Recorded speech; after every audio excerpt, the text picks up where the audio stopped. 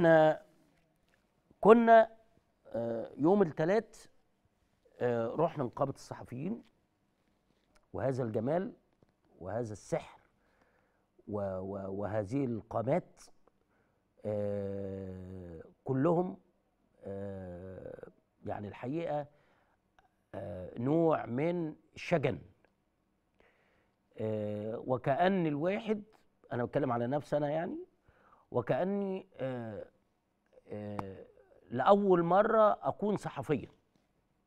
الحقيقة المرة دي بالذات يعني المرة دي لأول مرة أكون صحفي. والأول مرة أنا كجابر أعمل تقرير من داخل النقابة بال- بالطريقة دي. يعني ده ده آه، لازم التنويه يعني. طيب أنا اللقطة دي بس عشان أنا ما يحصلش فيها جدل. آه، حد صور اللقطة دي وأنا في النقابة ونزلها وهو الاخره وكل واحد كان ليه تفسير في هذا الأمر. لكن الأستاذ محمد العزبي كاتبنا الكبير 94 عام له من التاريخ ما يكفي إنك تتكلم معاه وتتكلم عليه.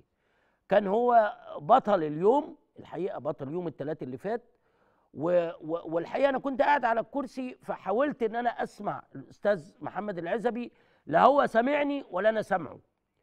والناس كتير ما شاء الله بقى وكان الأجمل بقى إن كل زميل وزميلة جاي بزوجته وأولاده وبتاع. فأنا ب ب ب بطريقة بعيدة خالص عن أي تفكير. أنا آه، نزلت آه، خطوة لتحت عشان أسمع الأستاذ العظيم محمد العزبي. هذا هو تفسير الأمر. إن أنا مش سامعه وهو مش سامعني واللقطة بتاعتنا اللي هي المحبة والود والاحترام هتضيع. وزملائي قالوا لي مش مش شارك لا يعني فالحقيقة إحنا كنا معاه وكان لينا كل الاحترام والتقدير معاه. فالحمد لله رب العالمين إن هذا اليوم آه، آه، تم بكل بكل ما فيه.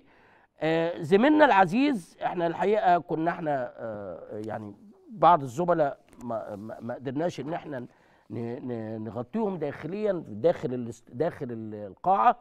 لكن في زميل عزيز الأستاذ أحمد سنجاب ده كان عامل حوار مع رئيس الحكومة اللبنانية نج- نجيب نجيب مقاتي وهو باعتباره مدير وكالة أنباء الشرق الأوسط في لبنان. ده زميلنا العزيز أستاذ أحمد سنجاب وده مراسل قناة الإخبارية في آه، القاهرة الإخبارية في آه، لبنان.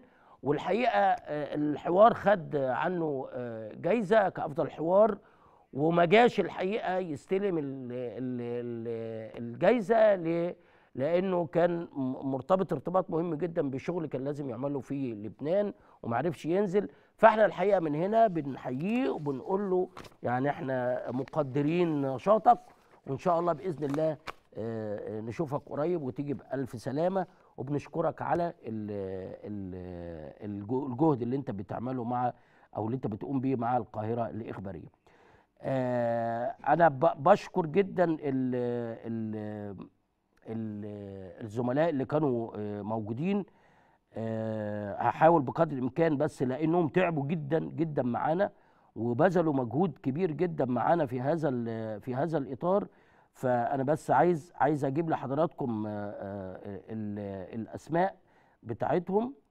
آه، معلش أجيب لحضراتكم الأسماء بتاعتهم لأنه في نوع من أنواع الاحترام الناس كانت تعبانة جدا ومع هذا الناس استمرت في شغلها وكانت يوم ممكن ان هي تطبق في في اليوم ده. لكن بنحاول بقدر الإمكان إن إحنا نوصل آه يا فندم موجودين اهم حالا حالا حالا يا فندم حالا.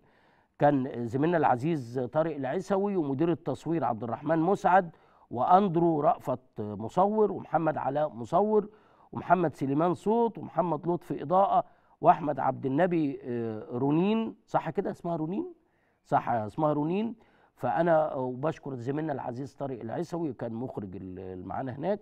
وبشكر كل الزملاء في هذا الإطار.